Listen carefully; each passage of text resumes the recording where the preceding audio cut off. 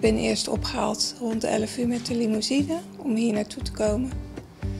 En hier hebben we geluncht. Tijdens lunch gebeurde iets speciaals. Ze belde Linda op dat ze leuk vond om eh, even te spreken en kennis te maken. En of jullie allemaal lief voor me waren. En nu zit ik in de visagie en mijn haar en zometeen omkleden en dan krijg ik een fotoshoot. Ik verwacht dat het spetterend wordt.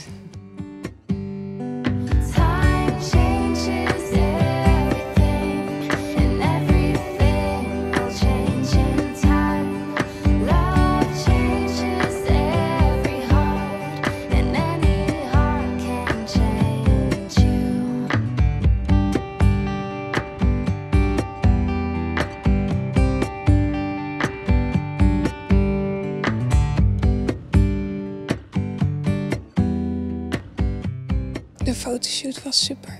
Het was wel een beetje vermoeiend, maar eh, ik vond het eigenlijk allemaal wel leuk.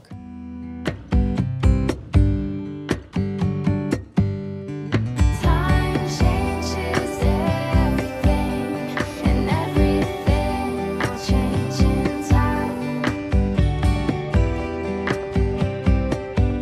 Ik wil iedereen bedanken eh, die zich ingezet heeft op Facebook om dit mogelijk te maken.